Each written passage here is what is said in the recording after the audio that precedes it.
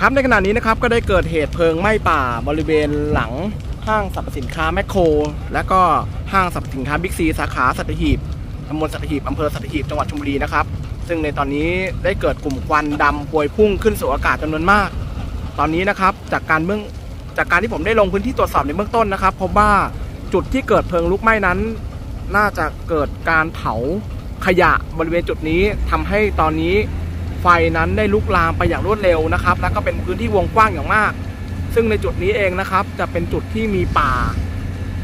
เป็นพื้นที่วงกว้างหลายสิบไร่เลยทีเดียวนะครับ ตอนนี้เจ้าหน้าที่ดับเพลิงของเทศบาลตำบลเขตอุดมศักดิ์และเทศบาลเมืองสัตหีบนั้น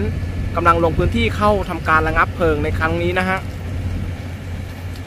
ขอขอรถประดับขอรถประดับหน่อย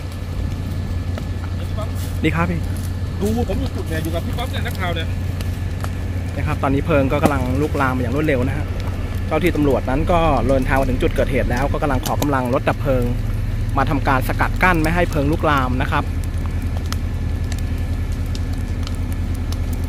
นี่นะครับจุดนี้เป็นจุดที่มีการนำขยะมาทิ้ง แล้วก็ได้มีการเผาเพื่อทำลายนะครับนี่นะครับนอกจากควันที่พวยพุ่งขึ้นสู่อากาศนะครับ ยังทำให้เกิดมลพิษนะฮะเป็นฝุ่น PM 2 ครับส่วนสาเหตุนะครับก็น่าจะมาจากความมักง่ายของประชาชนนั่นนะครับ ได้มาทำการจุดไฟเผากองขยะนะครับทำให้เกิดการลุกลาม ซึ่งตอนนี้นะครับ จุดที่อยู่ใกล้บริเวณนี้ก็มีบ้านเรือนประชาชนอยู่ในพื้นที่โดยรอบด้วยนะครับ ตอนนี้อยู่ในระหว่างรอเจ้าหน้าที่ดับเพลิงมาถึงจุดเกิดเหตุ เพลิงนั้นก็กำลังลุกลามไหม้หญ้าไปเรื่อยๆนะครับ แล้วก็กำลังกระจายตัวเป็นวงกว้างนะครับดังที่ปรากฏตอนนี้นะฮะนี่นะครับได้ยินเสียงหญ้าแห้งไหมฮะ ตอนนี้รถน้ำดับเพลิงของเทศบาลตำบลเขตอุดมศักดิ์ก็ได้เดินทางมาถึงที่เกิดเหตุแล้วนะครับกำลังเร่งเข้าระงับเหตุเพลิงไหม้ในครั้งนี้นะครับ เพื่อป้องกันการลุกลามจุดอีกแล้วชาวบ้านเขาชอบมาจุดกันเหรอพี่ใช่ครับ คือเขาเอามาทิ้งแล้วเขาก็จุดเหรอครับใช่อ๋อครับตอนนั้นปีใหม่กำลังจุดพลุเลยมันก็จุดไฟด้วยเลย ครับ มันดับอยู่เรื่อยแหละเนี่ยฮะถ้าแห้งยิ่งยิ่งเนี่ยยิ่งหลังเนี่ยมีนามีกุมภามีนายิ่งแห้งยิ่งเนี่ยอะไรอะไม่พี่มันเอาขยะมาทิ้งใช่ป่ะแล้วเวลาแม่งก็ไม่แอบจุดครับตัวเจตนา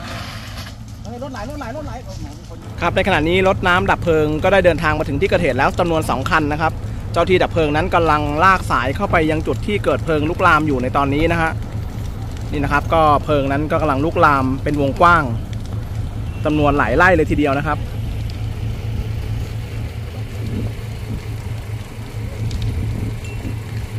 นะครับ ก็ในเบื้องต้นจากการที่เราสอบถามชาวบ้าน ก็พบว่ามีกลุ่มคนเนี่ยแหละครับ ที่ได้นำขยะมาทิ้งทำลาย เอามาทิ้งไว้บริเวณตลาดนัด 700 ไร่แห่งนี้ แล้วก็ได้ทำการเผาทำลายทิ้งนะครับ ก่อนที่เพลิงนั้นมันจะลุกลามไปติดกับต้นไม้ใบหญ้า ที่อยู่บริเวณโดยรอบ จนทำให้เกิดเพลิงลุกไหม้ดังกล่าวนะครับ และในจุดนี้นะครับ ทางชาวบ้านนั้นแจ้งว่ามีการลักลอบเผาขยะบ่อยครั้งมากนะครับอย่างไรก็ตามก็ต้องขอฝากเจ้าหน้าที่นะครับ เข้ามาดำเนินการดูแลสอดส่องนะครับ เพื่อไม่ให้ชาวบ้านนั้นลักลอบการจุดไฟเผาขยะ เนื่องจากถือว่ามีความผิดตามกฎหมายนะครับ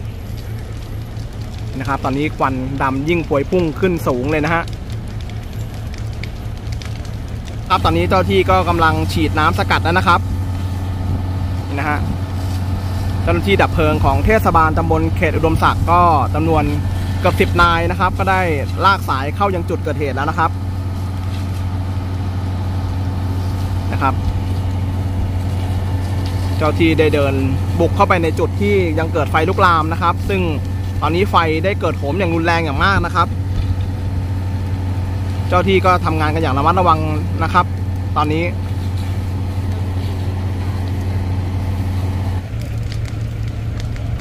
ตอนนี้นะครับเพลิงกำลังลุกลามเข้าใกล้บริเวณด้านหลังห้างบิ๊กซีแล้วนะครับ ซึ่งห่างจากหลังบิ๊กซีออกไปเพียงไม่กี่สิบเมตรเท่านั้นนะครับ ตอนนี้ กลุ่มควันที่พวยพุ่งนั้นเป็นเพลิงที่ลุกลามไปจู่จุดนั้นนะครับ เนื่องจากว่า ไฟนะครับได้พัดไปตามลม แล้วก็ไปติดกับหญ้าแห้งที่บริเวณด้านหลังห้างสาขาบิ๊กซีสัตหีบนะครับ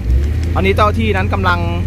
ลากสายเข้าไปยังจุดดังกล่าวนะครับ เพื่อไม่ให้เพลิงนั้นเข้าไปลุกลามติดกับห้างสรรพสินค้านะครับ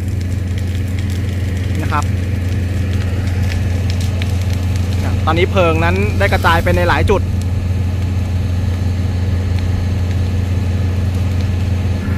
นะครับ ตอนนี้เจ้าหน้าที่ก็ระดมดับเข้าไป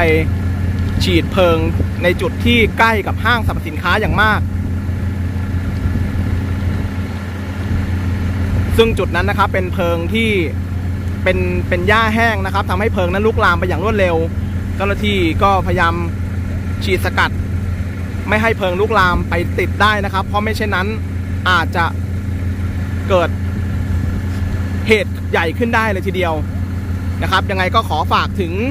ผู้ที่ชอบมาลักลอบจุดขยะบริเวณ ตลาดนัดเจ็ดร้อยไร่ด้วยนะครับ ขอให้ทุกท่านดูผลของการกระทำของท่านไว้นะครับว่า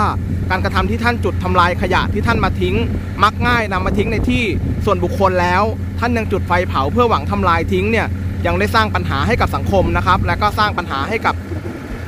บ้านเมืองอย่างมากนะครับ ตอนนี้หากเพลิงนั้นลุกลามไปติดกับบ้านเรือนประชาชนหรือทรัพย์สินของผู้ใด ก็ขอให้ท่านรับรู้ไว้นะครับว่าท่านนั้นอาจจะถูกดำเนินคดีตามกฎหมาย และต้องรับผิดชอบต่อการกระทำที่เกิดขึ้นด้วยนี่นะครับ ตอนนี้เจ้าหน้าที่ก็ได้นำรถดับเพลิงเข้ามาในจุดนี้ถึง 3 คันแล้ว เจ้าหน้าที่ก็นำกำลังกว่า 10 นาย กระจายกำลังไปในหลายจุดเลยทีเดียว แต่จุดที่สำคัญนะครับคือจุดที่อยู่บริเวณหลังห้างสรรพสินค้า ระหว่างห้างบิ๊กซีและห้างแมคโครจุดนั้นนะครับเป็นเพลิงที่ได้กระโดดจากจุดที่เป็นต้นตอของเพลิงไป เนื่องจากว่าลมนั้นน่าจะพัด เอาเพลิงไปติดกับหญ้าแห้งนะตอนนี้เห็นไหมฮะกลุ่มควันดำที่พวยพุ่ง จุดนั้นนะครับห่างละห้างสรรพสินค้าแมคโครออกไปเพียงนิดเดียวเท่านั้น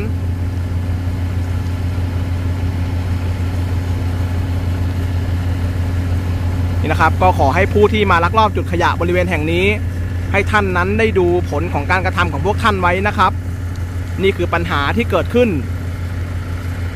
จากความมักง่าย